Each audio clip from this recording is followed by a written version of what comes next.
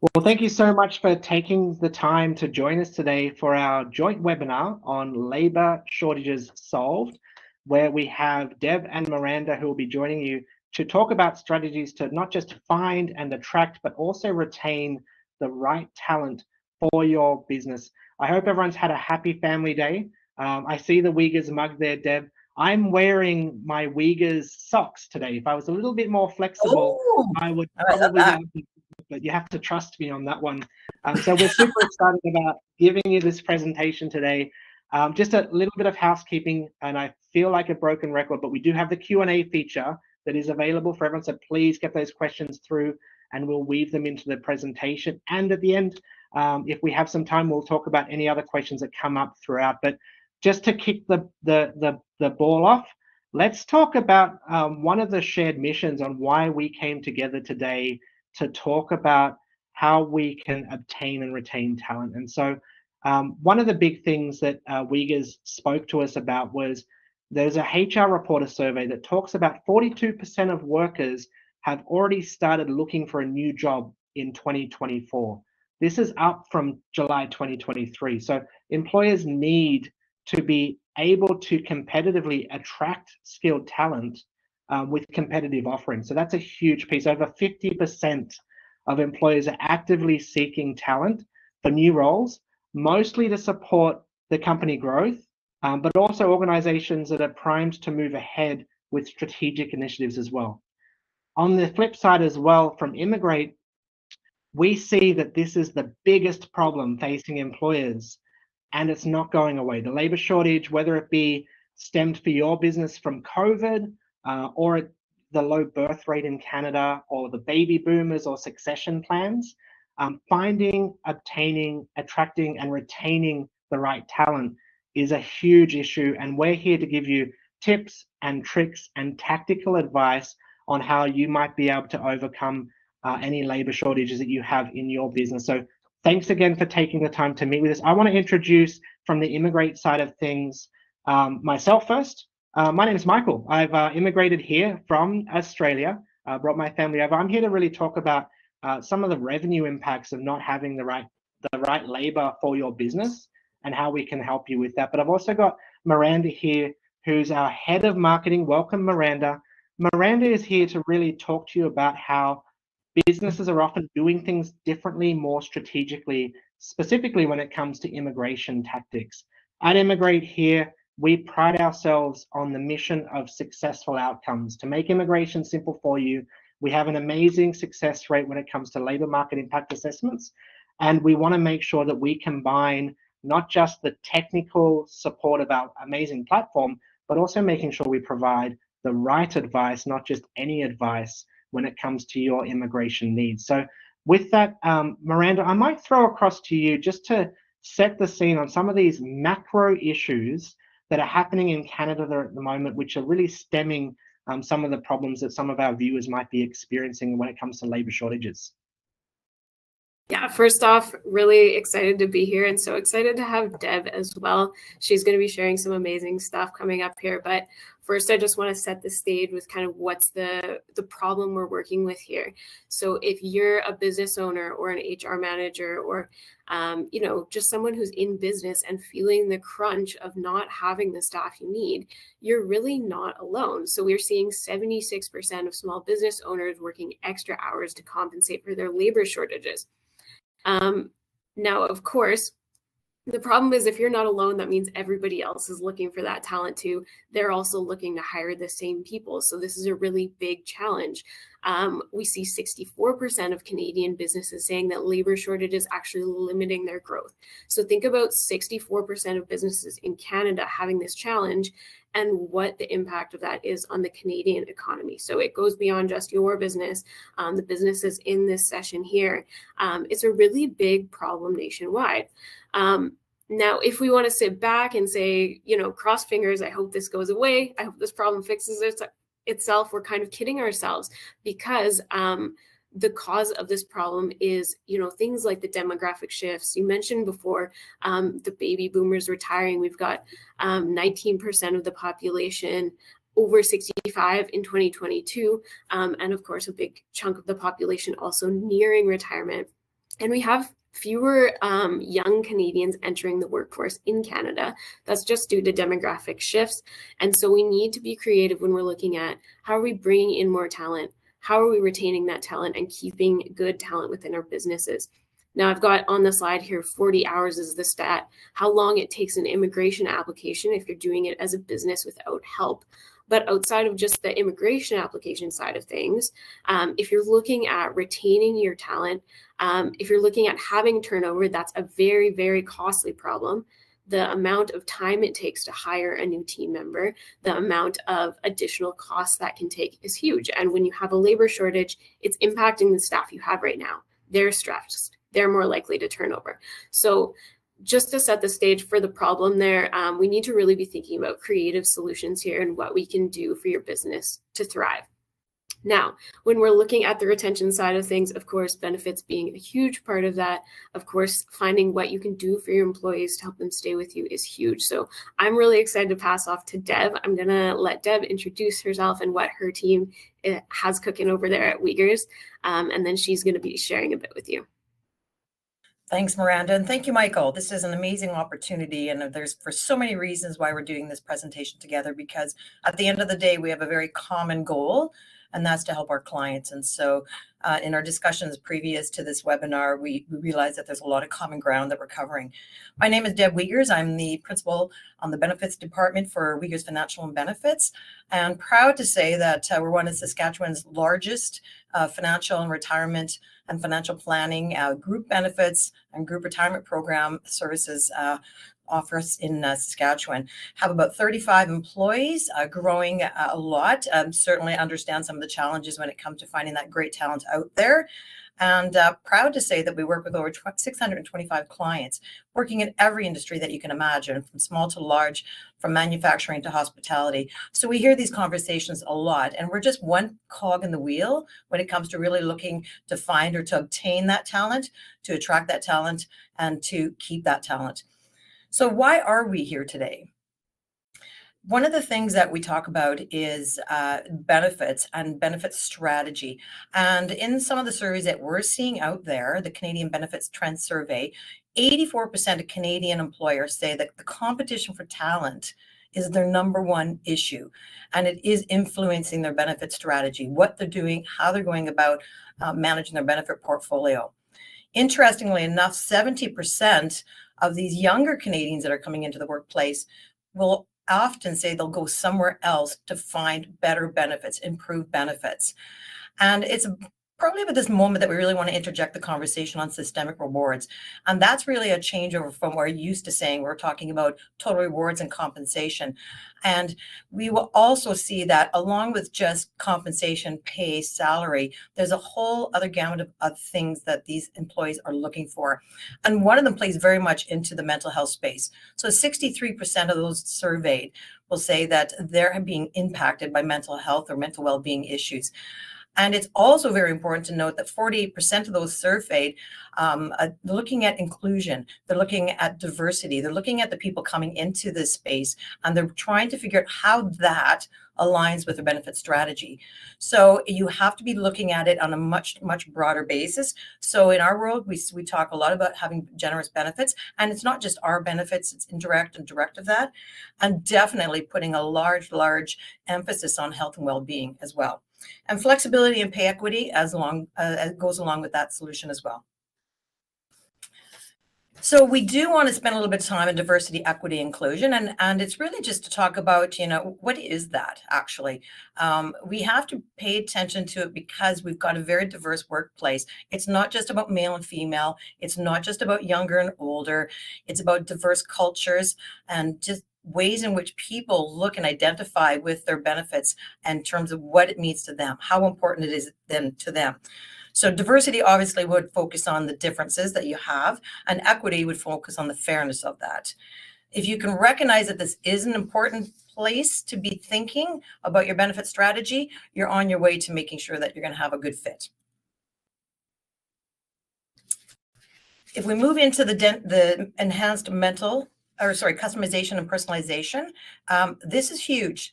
Um, again, if we're looking at a very diverse workplace, we also need to be thinking about what does benefits mean to them.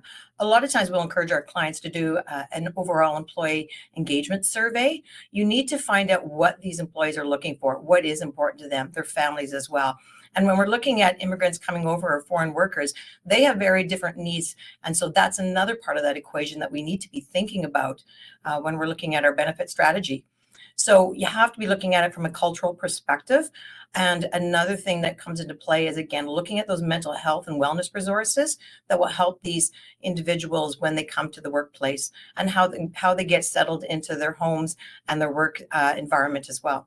So you're going to see things that will come into uh, conversations on the mental health side uh, side of that. Uh, they'll look at employee assistance programs. They'll look at mental health apps, virtual he- healthcare. Big deal today because now logistically it's just difficult to get to see somebody in person, and it's a choice that some people are making as well. So the fact that you can in- implement virtual healthcare services into your programs will mean that it m- becomes much more inclusive of your employee base.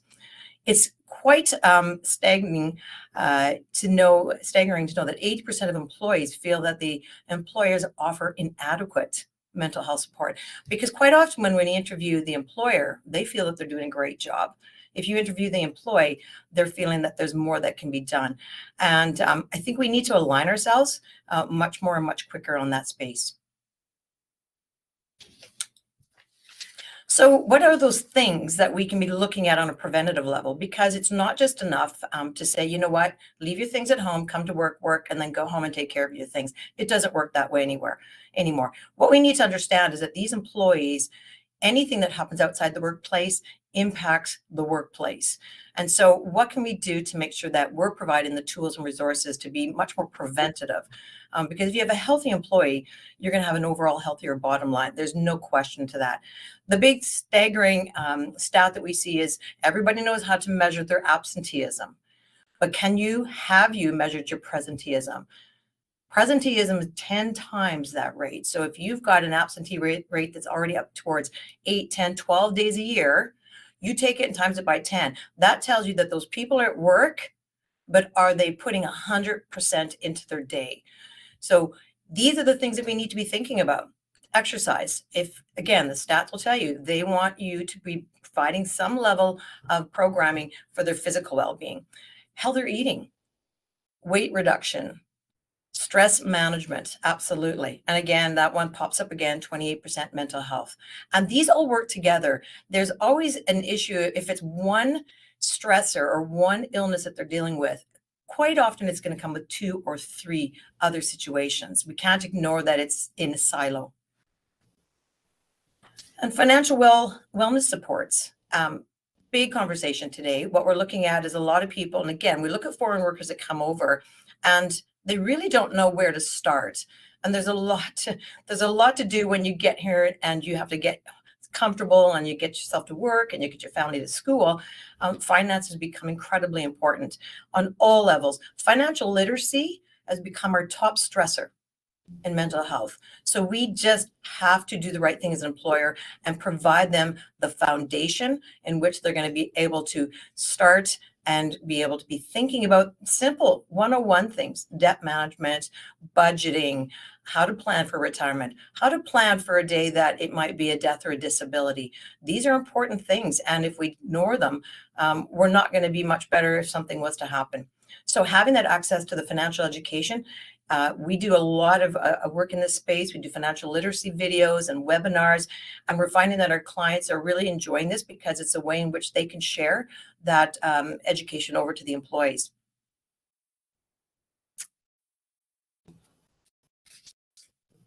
So three cheers for the benefits.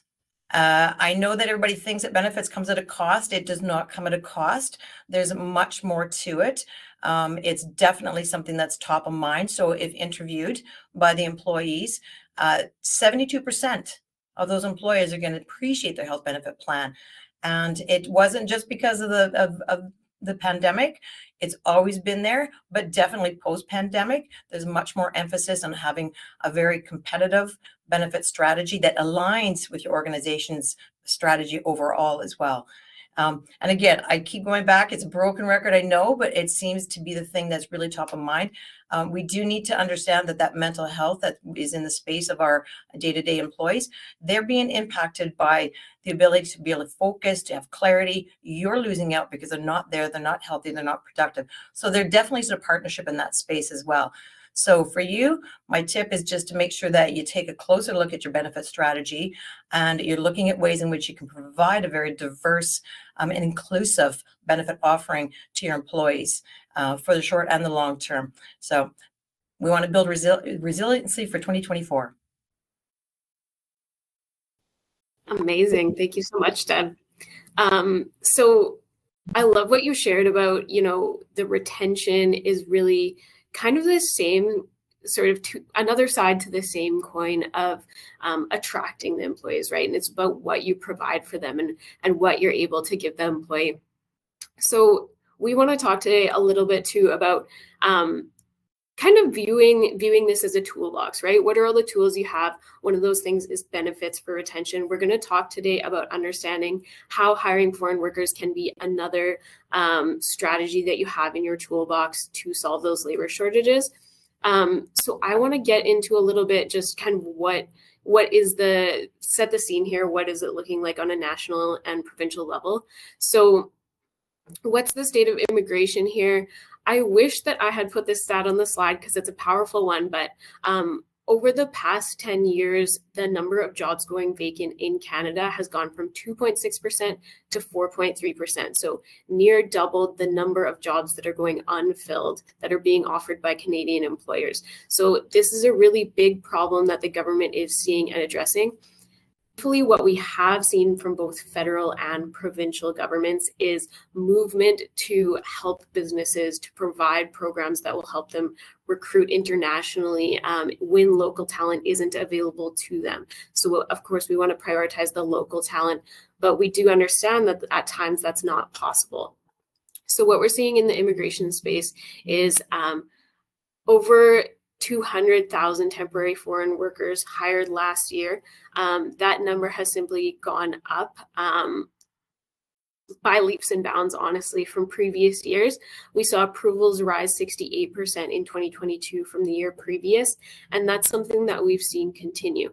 So the kind of driver behind that is increased provincial and federal programs as well as approvals within existing programs.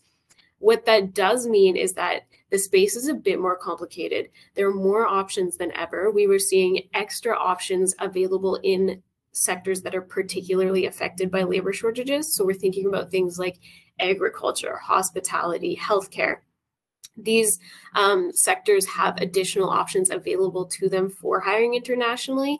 That said, for businesses, it can feel a bit complex to kind of weed through that and just find out what the right options are for them. That said, if you are lacking staff, if you are having trouble recruiting, or if you can't find the skills and experience you need within Canada, you do have options available to you.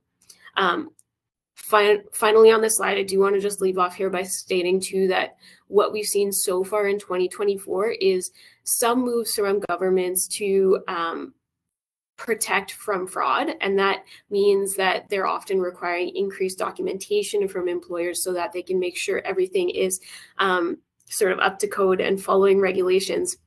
But that can mean that it can be a little more complex for an employer who's trying to hire. So I'm going to talk later about how you can get help if you're struggling with that.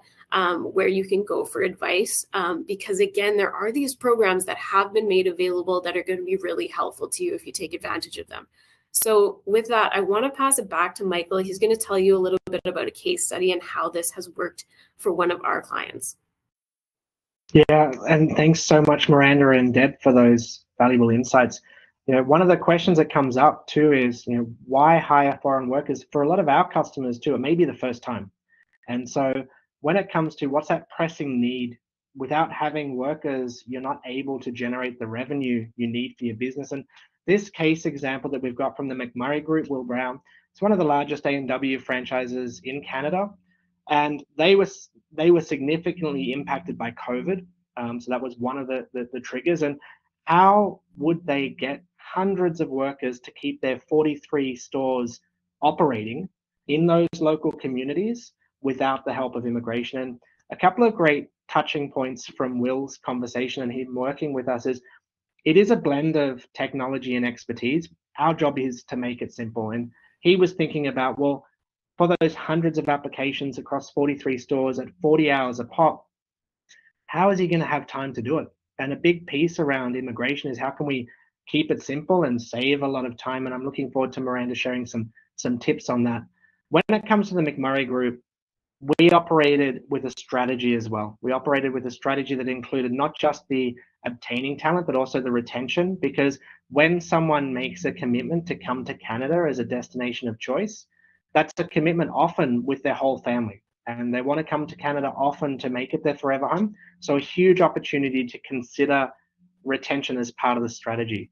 Outside of that, when it comes to keeping the business operating, in some cases, hospitality, hotels, they shut floors, uh, different serving hours, lunch times closed.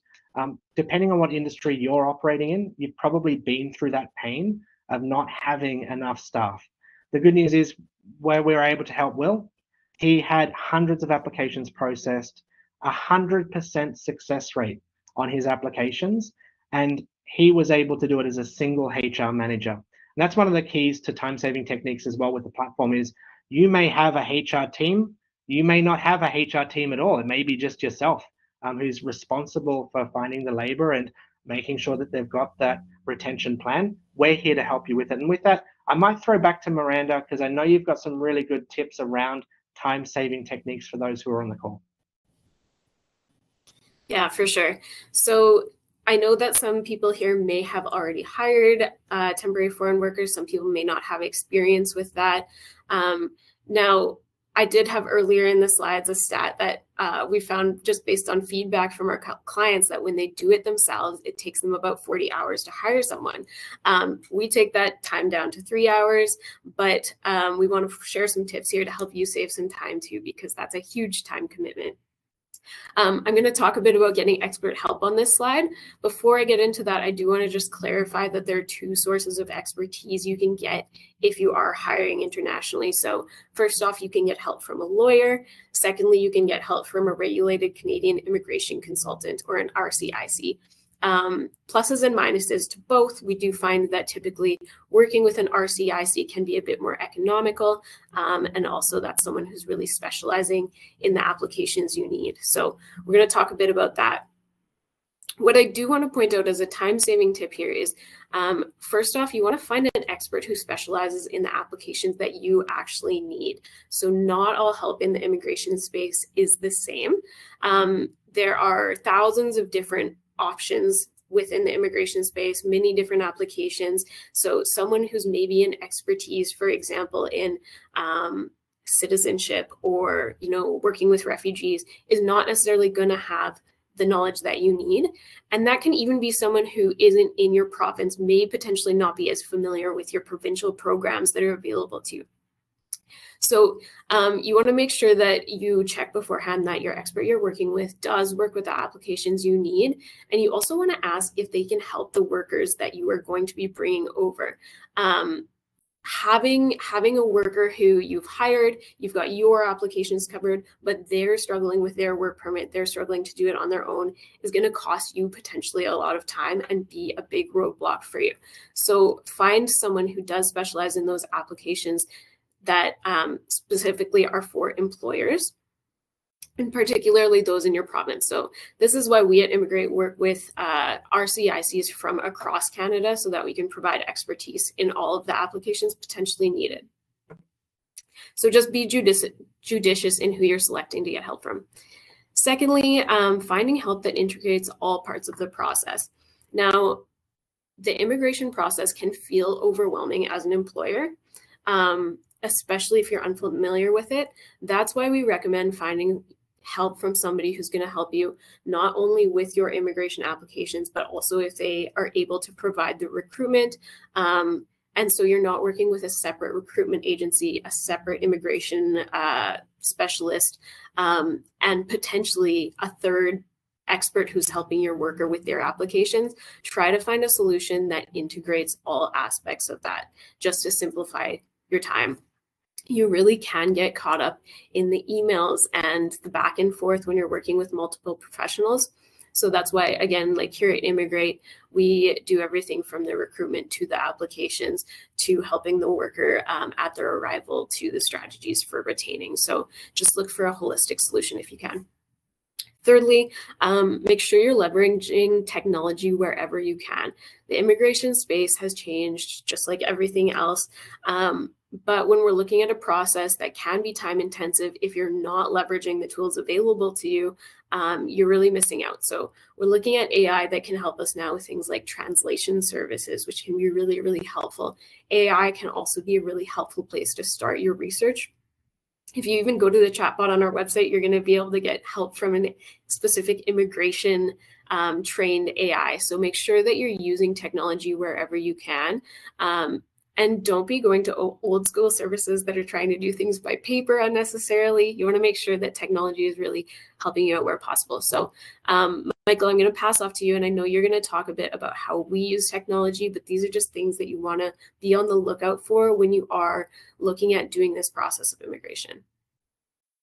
Please, please, please, if you take one thing away from my perspective, is ditch the email back and forth, ditch the paperwork there's too much room for risk and error when it comes to such an important thing um, like your business and and and families, right? So uh, I've just got on here a couple of illustrations about how our technology does help um, save time.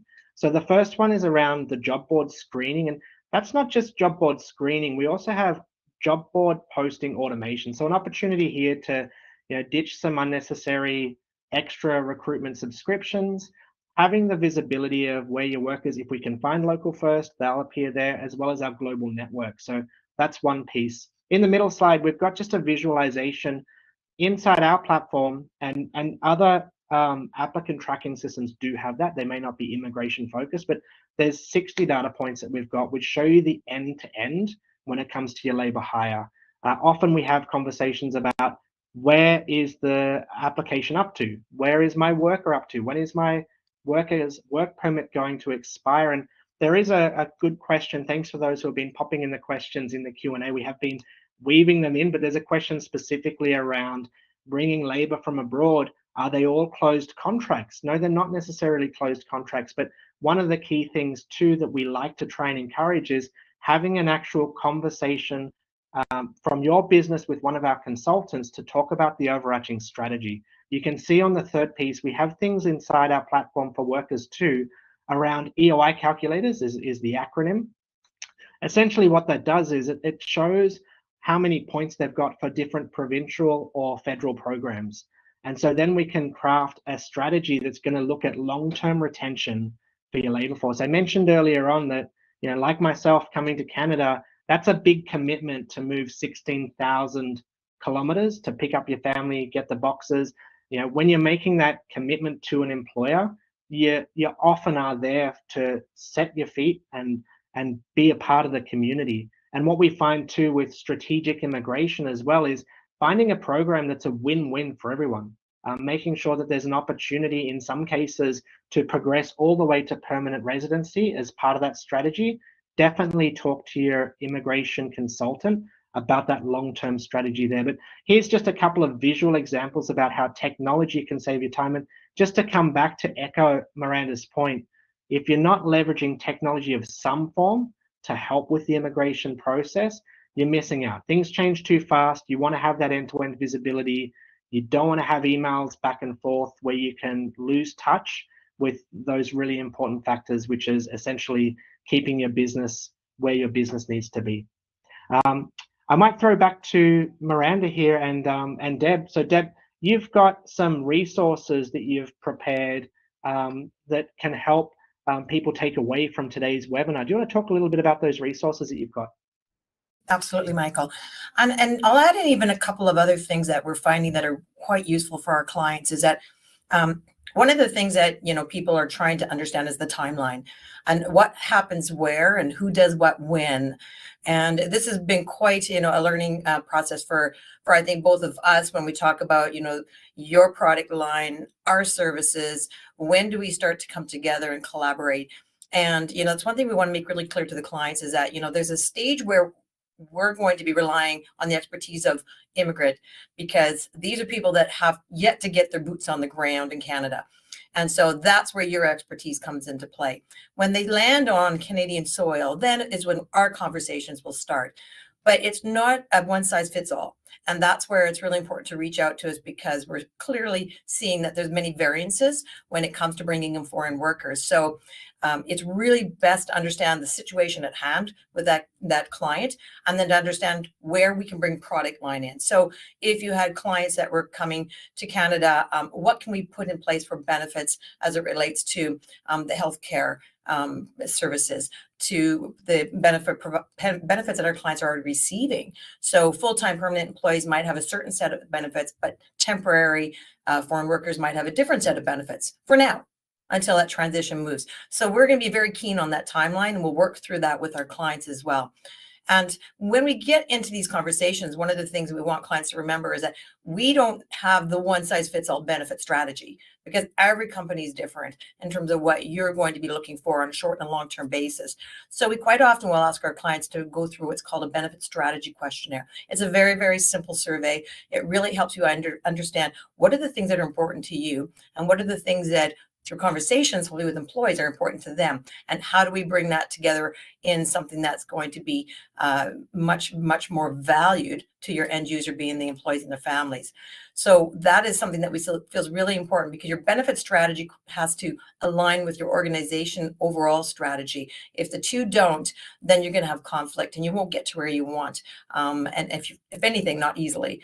Um, and then definitely doing employee engagement surveys you know a lot of people say well I, I i'm feeling i'm put myself in a box no you're not you need to hear what they want what they're looking for what's important to them so that when you're going through your strategy now you can start looking at ways in which you're extending those benefits in a way that's meaningful to them as well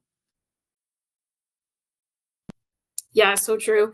Um, so you're going to be receiving uh, that questionnaire that Deb mentioned um, by email after this. So make sure you go through that.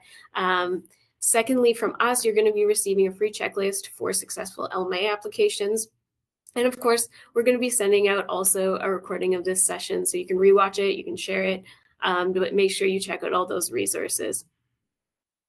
If you want to go to the next slide there, Michael, we've got a couple more little gifts for you to take away here. Um, first off, uh, as as Immigrate, we wanted to offer something special for all of the Wiegers clients who have come here today and, and just kind of thank you guys for being here. So we've got an exclusive offer for everyone here to have a complimentary one hour immigration strategy session with one of our experts. So this is a really great opportunity for you to just ask any questions you might have, understand what the process would look like and start exploring, you know, what are the costs, what programs, how long might it take for my business? So even if you do want to do the process yourself of doing these applications, please take advantage of that and ask those questions that you might have. Um, it's a great opportunity to speak with an expert. Secondly, um, Wiegers has set up uh, this concierge service where they're directing you to these resources to help cover those foreign workers when they arrive. So they've got a link there that's going to direct you specifically to their um, provider who can help you out with getting health coverage you may need when someone is landing here in Canada. So that's a really good opportunity to take advantage of as well. And you're going to get those links by email. So I'll pass it off to Michael for Q&A. And we do have a couple of great questions that we didn't get woven in. So I might throw the first question, Deb. Um, this question's to you. We have a question around what aspects should we consider to ensure our benefits align well with the needs and preferences of our workers? Wow, that's a loaded one. Um, Thank you for that one. it's a great question. um, there's a lot that comes into play when you're talking about benefits and what you need to be providing for your employees. So again, I go back to that benefit strategy questionnaire. I think you really need to understand, you need to have a pulse on what's actually happening and you don't necessarily and you shouldn't necessarily compare it to everybody else that's out there because your needs and wants and your employees needs and wants may be very different. It might be different just because of the industry that you're in. It might be different because of logistically you're in rural areas versus urban areas. Your age groups are going to be a lot younger. We talk a lot about customization and personalization, um, that's huge with the younger generations, the millennials and, and the Gen Zs, you know, spending in wellness accounts.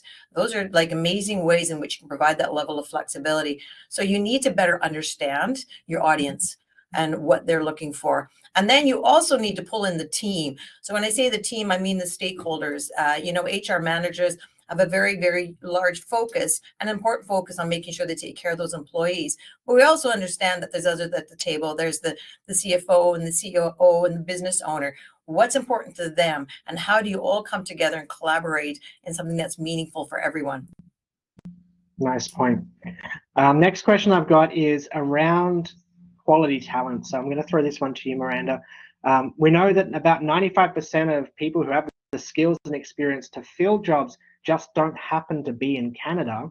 So when it comes to safeguards to find quality talent, basically um, through the recruitment process, what are some of the tips and pieces of advice that you got, and how do we overcome those problems? Yeah, so um, here at Immigrate, we do have a recruitment team that is really um, specialized in helping understand uh, what people's skills are. And this is something that's really important, especially when you're talking about um, interviewing cross culturally, right? Just because someone expresses something differently than you might have doesn't mean that they don't have those skills. So, having someone who can help you with that experience in cross cultural interviewing can be really helpful. Um, a second thing I would say is just in your interview, don't feel that you have to um, rush. If you are not clear on what somebody's skills are, feel free to ask. Um, feel free to take the time to really understand that. Um, and documentation is really important too. So we do think about like the references. Do not overlook your references, of course. Make sure they have documentation for the school and the work experience that they have. Um, and, and make sure that you feel really confident in that. Um, yeah, and and in specific cases where there are skills testing, this is something that I know we've helped um, clients with before is helping them arrange skills testing for workers who are in areas that have um, specific skills. We're talking things like welding and that kind of thing. Um, so yeah, hopefully that helps a little bit, but I'd say part of it is really taking your time, making sure you have the documentation and making sure that you feel confident that you have really explored what those person's skills are with them. Thank you for that. Um, I'm going to merge a couple of questions together and, and, and pass this one over to you, Deb. Um, we get we've got a couple of questions around like contracts and commitments and uh, healthcare. Now, to start off, one of the questions is about how do we treat temporary foreign workers versus normal employees? The answer I can help with that is it's it's basically the same, right? So, for example, when it comes to healthcare benefits, um, it is the employer's obligation to make sure that they're um, satisfying the needs of healthcare. But flipping across to the question for you, Deb, when it comes to employers who may have not been fast to the gate or have may, may have been reluctant or a little bit slow to get the ball rolling with an appropriate health and well-being strategy, what are some of the, the areas where you've seen um, people be re- uh, reprehensive and and what are some of the things that you've spoken about to help guide them to get the ball rolling and to get started as an expert in this field?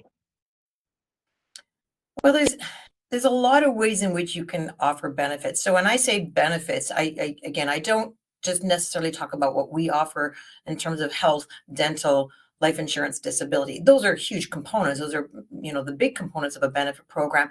But i even think about our organization and the things that we bring to the table as a company to our employees. Um, i think the one thing that you know we've learned through this process is that um, when that employee does come to you and they are a temporary foreign worker there is a, a, an ask that we have to put out to the marketplace. We have to ident identify um, a few facts, then we take it to the marketplace and we see what the offer back will be. Um, it may be that we can only extend a very small amount to benefit coverage, but that doesn't mean that the organization itself can't lend itself to having some internal well-being um, initiatives. And, uh, and I know that our team, we've got a social committee that is very inclusive and brings that team together, makes them feel comfortable. Those are small but very, very huge things too. So And then as we work through, you know, the temporary and, and I know we've talked a lot, people moving from temporary have a, you know, desire to want to go permanent residence. Then we start to become able to provide a little bit more robust of a program. And with all the insurance companies that we work out there, they all have a different way in which they go about it. So really that's our job on the consulting side is that we have these relations with these insurers out in the marketplace and we can identify what and where we can go first and how and when we can move to those next stages so that one point in time, all those individuals are going to be able to take advantage of that same benefit offering across the board.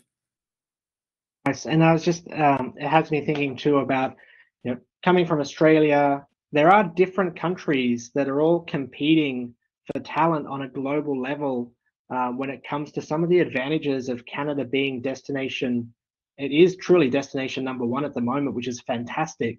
Miranda, what do you hear from employers and what are some of the reasons why um, you see individuals wanting to come to Canada to work for Canadian businesses? Uh, it's an important question because when we think about um, the investment that you're putting into hiring this person, you are hoping that they stay. And what we do see is very high retention rates. We do see people want to um, want to come to Canada and want to stay in Canada. So that's really great to see. The reason for that being that Canada does have a very high quality of life. Um, it does have safety for people. It does have programs for them to access healthcare and um, education for their whole family. Um, lastly, it's a really attractive destination because we do have immigration programs that are accessible for people. So Canada is very open to bringing in people who have the skills that are needed um, and the work experience that are needed. So those are just some of the things that come together to make Canada kind of the ideal destination for people that's really beneficial to clients because we find that they get a lot of applicants they get a lot of high quality applicants um, and it also can give you more confidence that that person who's arriving here um, has landed in a destination they're looking forward to and is going to have a very high rate of retention. Nice. And on that note i want to say thank you miranda and deb for your insights and your tips and your tactics here. A huge amount of value that you've given everyone on the call and for everyone on the call, thank you so much for joining us today. If there's if there's one piece of advice that I think wraps everything up is leverage experts, leverage experts um, who are experts in their fields to help you navigate this space so that you can do what's right and what's needed for your business today. So on the screen, you've got those two call to actions. Look out in your email for those additional resources that are coming through and let's have a conversation and see how we can help. I want to thank you all so much again for joining us and look forward to speaking to you all soon. Thanks, everyone. Thank you. Thank you, everyone.